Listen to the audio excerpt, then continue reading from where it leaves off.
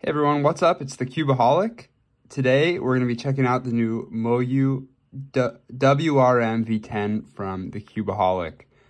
Uh, thanks for tuning in. It's been a while, but I'm excited to check out this cube. It's my first new cube in, I gotta say, quite a few years. So um, I was excited to see like a, like a random short on my YouTube Shorts pop up that said a new Moyu was coming out. So this is pretty cool.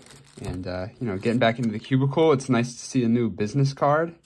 And uh, I got some good old weight 3, too, just to uh, set it up eventually. Uh, I haven't done a setup in, I don't know, what, eight years or something. So this is cool. And uh, nice, looks like we have some tools with it and uh, the cube itself. So let's check out this first.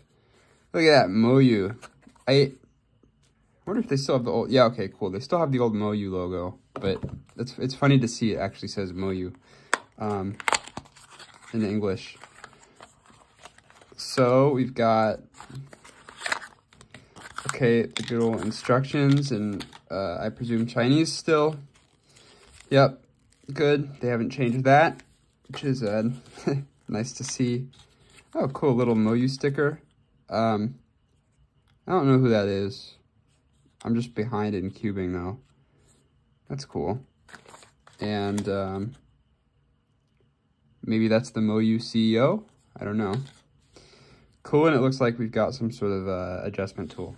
Great, but let's take a look at what we're uh, really here for. Nice, decent packaging. I love to see that.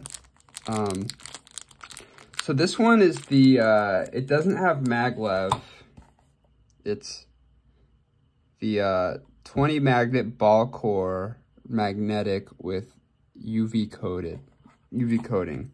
So um, I know that I typically don't like super fast cubes. So I heard from um, actually a coworker that maglev is super fast. So I didn't want to do that.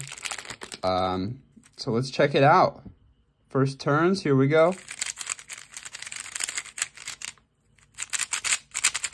Okay, it actually is pretty fast. I, as you can see, I messed up my, uh, uh, that, but wow, this, this is kind of cool. It's super, it's kind of sandy. Um, this does not remind me of a Moyu. So this is actually, I think it's, it's maybe a little loose.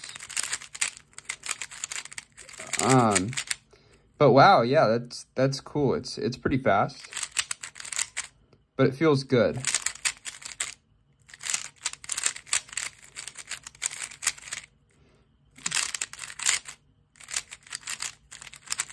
Um, yeah, cool. It's, yeah, see, when I, I'm not pressing too hard.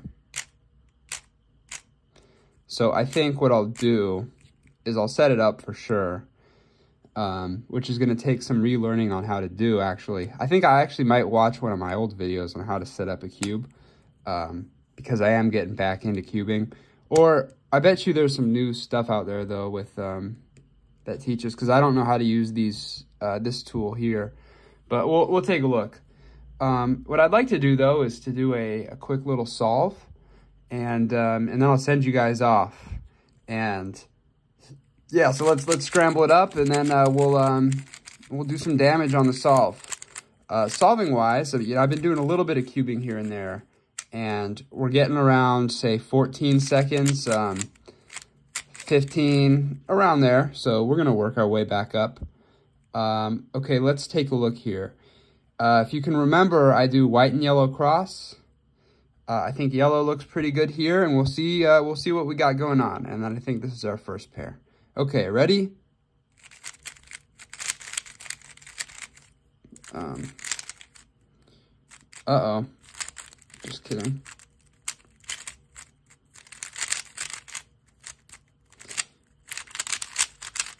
Okay, cool yeah, I enjoyed that. Um, but what I'm going to do, though, is I'm going to solve it a bunch, tighten it up, lube it up, and then um, and we'll go from there. Well, thanks for checking this video out, guys. Uh, it's good to be back.